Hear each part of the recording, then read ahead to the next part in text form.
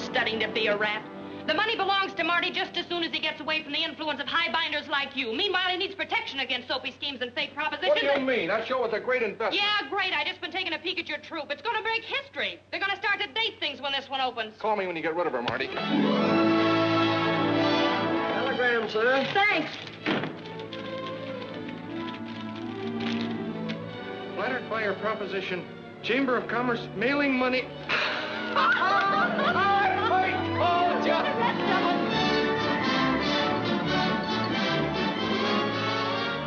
Way, um, my boyfriend's getting out of Alcatraz in three weeks.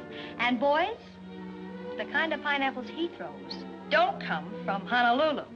If the show opens up tomorrow night and this here lady ain't on that stage, Pooch is gonna blow up that theater with TNT. Come on, darling. Boy, I thought we were gonna get hurt. Didn't scare me any. Huh?